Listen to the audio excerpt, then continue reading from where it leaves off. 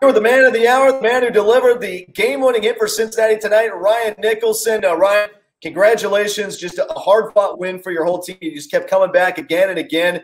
Uh, came up in the tenth inning, trailing by one. What was the, the thought of the team in the dugout uh, as you were trying to come back and uh, score the win? Uh, I think it was just you know find a way on base. Um, you know we don't we're not, not really going to try and hit a home run. You know we just need to get guys on. We need to score two to win, and um, you know, that's what we're able to do. You know, guys, Joey Bellini had a really clutch hit. He had a long at bat. Sapp had a clutch hit, RBI.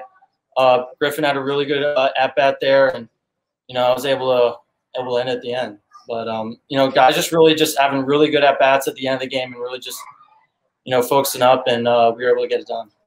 A quality at bat after quality at bat uh, for your team uh, down the stretch there. Let's go with your at bat uh, that ended up winning the game. You know, come to the plate, winning run on third base, uh, opposing team's closer in there. That's uh, that's the kind of moment you live for. Yeah, um, especially being a Louisville guy, like that was really the probably the moment I was really looking for. You know, Eric's right behind me. He's saying, you know, just really have go up and have fun with it. You don't really get this moment too often, and honestly, I feel like that calmed my nerves a little bit. You know, I stepped in there, I was looking for a pitch, and I was able to get on the third and really elevate it, and you know, we were able to to win it there. But I was, you know, the nerves. I honestly thought I was going to be more nervous going in, but I honestly wasn't. You know, I think, I really think Eric really helped me out there, just uh, talking to me on my on deck circle.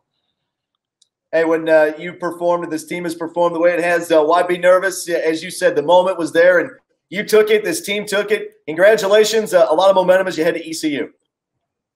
Yeah, a whole lot of momentum, and uh, you know we're looking forward to ECU and conference, and hopefully do some damage. All right. Well, congratulations on the win tonight. And uh, we'll follow you guys in that series. Appreciate it, Matt.